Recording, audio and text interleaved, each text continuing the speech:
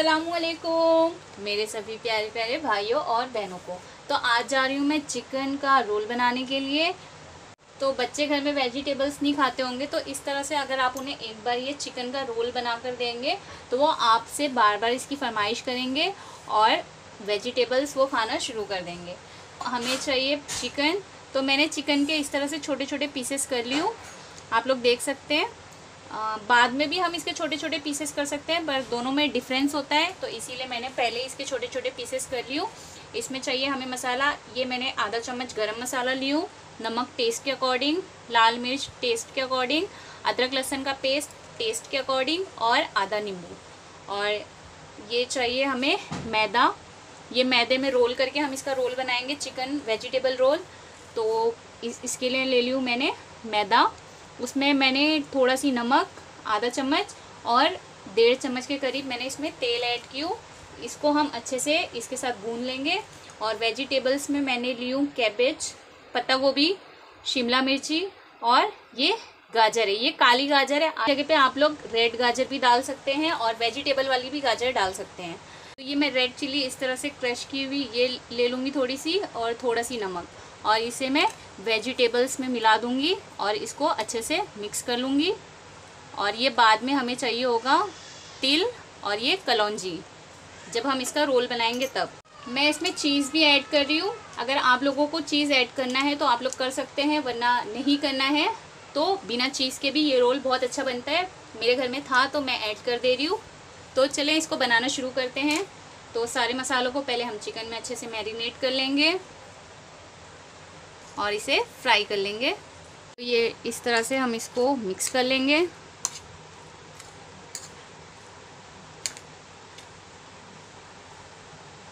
और हम चिकन को भी मिक्स कर लेंगे। तो ये काली गाजर थी, जिसकी वजह से मेरा हाथ भी थोड़ा थोड़ा काला हो गया मैंने कट की इसको तो। तो चिकन को भी हम अच्छे से मैरिनेट कर लेंगे। आप लोग इसको एक बार ज़रूर बनाकर ट्राई करें। इनशाला ये आपके घर में बच्चों को भी पसंद आएँगे और ये आप लोगों को भी पसंद आएँगे। और बच्चे इसी बहाने वेजिटेबल्स भी खाना शुरू कर देंगे। तो इस तरह से पहले हम इसको मैदे में अच्छे से मिक्स कर लेंगे। तो ये मैंने मिक्स कर ली हूँ। अब मैं इसमें थोड़ा थोड़ा पानी डाल के इसका डो तैयार कर लूँगी। ये हमें बहुत ज़्यादा गीला नहीं चाहिए, ना बहुत ज़्यादा सख्त चाहिए।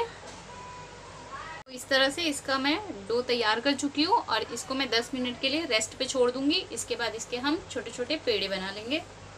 तो ये गैस पे चढ़ा दी हूँ मैंने पैन, इस पर मैंने तेल ऐड कर दी हूँ अब इस पर हम चिकन डाल देंगे।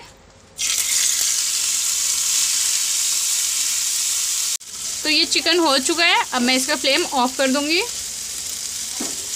तो जब चिकन ठंडा हो जाएगा, तब हम इसमें थोड़ा सी टमाटो केचप मिला देंगे। और इसको अच्छे से मिक्स कर लेंगे। दस मिनट हो चुके हैं। अब मैं इसके ऐसे छोटे छोटे पेड़े बना लूँगी और इसको रोटी की तरह छोटा छोटा बेल लूँगी।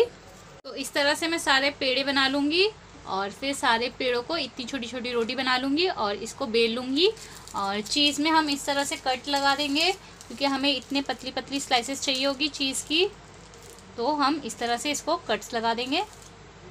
तो मैं रोटी बेल के दिखाती हूँ आप लोगों को। तो इस तरह से मैं इसको बेल लूँगी। तो फातिमा ने बोलना शुरू कर दिया है तो वो अब मुझे फुप्पू बोलती है। फातिमा? फुप्पू बोलो। तो इस तरह से मैंने सारे रोल्स को बेल ली और ये जो कलौजी और ये तिल है, इसको मैं इस तरह से इस तरफ़ थोड़ा थोड़ा सी डालकर फिर इसको बेलन से ऐसे टाइट कर दूँगी, ताकि ये इसमें चिपक जाए। तो हम इसकी साइड को इस तरह से पलट देंगे। और इस पे चीज़ का एक स्लाइस रख देंगे। और इसके ऊपर वेजिटेबल्स ऐड कर देंगे।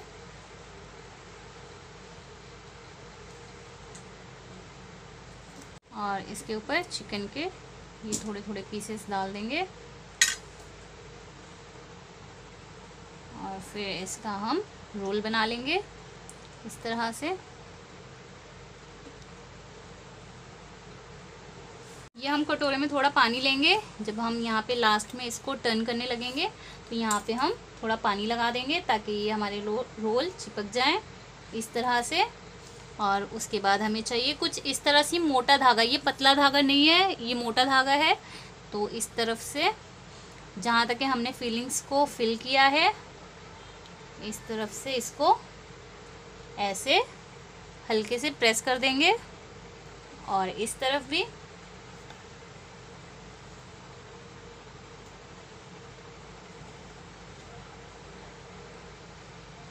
तो इसी तरह से हम सारे रोल्स को तैयार कर लेंगे।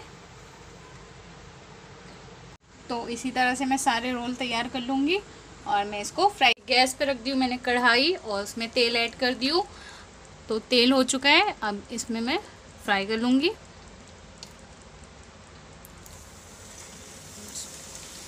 इसको डालने के बाद हम फ्लेम स्लो कर देंगे और स्लो फ्लेम पे इसको फिर पका लेंगे।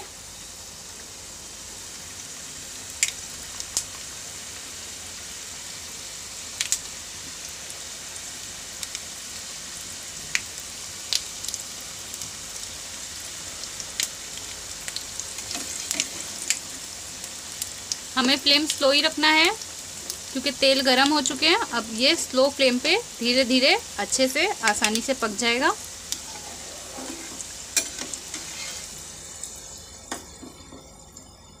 तो रमज़ान भी करीब आ रहा है।